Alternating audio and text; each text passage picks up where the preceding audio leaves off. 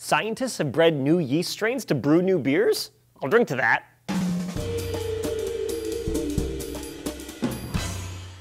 Hey, all you adults of legal drinking age. Julian here for DNews.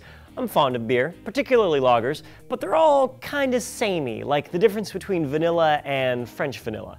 Ales, on the other hand, come in every color of a gold to brown rainbow, and they have a big variety of flavors. Why is that?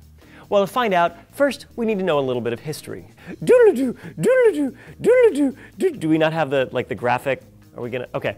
Ale has been around for about 7,000 years and probably started as a happy accident. Leave some barley and water out in the sun, some airborne fungus gets in there and goes to town on the barley sugars, converting it to energy through a process called fermentation, and the waste product is alcohol. I wonder who the first guy was that was willing to drink nasty, fermented, warm barley water. He's probably the same guy who got the first hangover.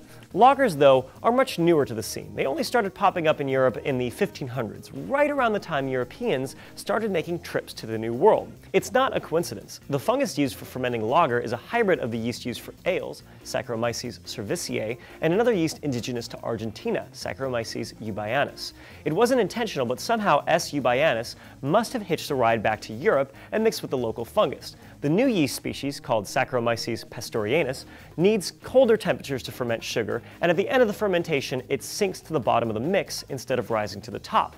Oh, and it's got four sets of chromosomes, making it a allotetraploid. Not necessary to know, but still pretty cool. Getting those parent species to rumble in the fungal jungle and still make baby yeasts that are good for brewing isn't easy though, and it needs human help to keep propagating. The result is we've been making the same strains of S. pastorianus over and over and using them for our lagers, and that's why most of them taste pretty much the same. So, knowing this, what if we bred new yeast for new lagers? Researchers at the University of Leuven in Belgium did just that. They did the microbial equivalent of putting S. eubayanus and S. cerevisiae in a room, lighting some candles, putting on some Marvin Gaye, and letting nature do its thing and do its thing it did. To quote the researcher Dr. Kevin Verstrepen, we were able to get some serious sexual action between our yeasts, which resulted in hundreds of new lager yeast strains. Serious sexual action. Those are a PhD's words, not mine. They tested 31 of the strains on a small scale, and while some of them were terrible,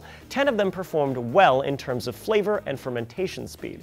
Verstrepen claims two were magnificent. They fermented more quickly than the commercially used reference lager yeast that we compared them to, and they produced really nice flavors. I'd like to see this taken to the next logical step. Instead of breeding the yeast and hoping for the best combination of genes, skip the middleman altogether and genetically modify the yeast. Select your favorite flavor and aroma elements and splice them right in. Why not?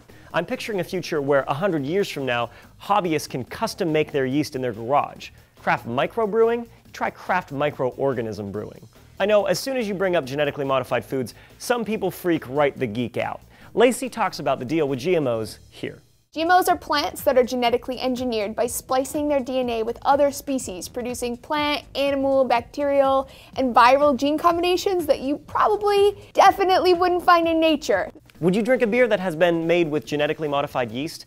I mean, there's no actual yeast in it, and we're just combining genes from yeast species we're already breeding, but I'd take a swig. I mean, I do that for most beers anyway. But let me know in the comments, subscribe for more, and I will see you next time on D News.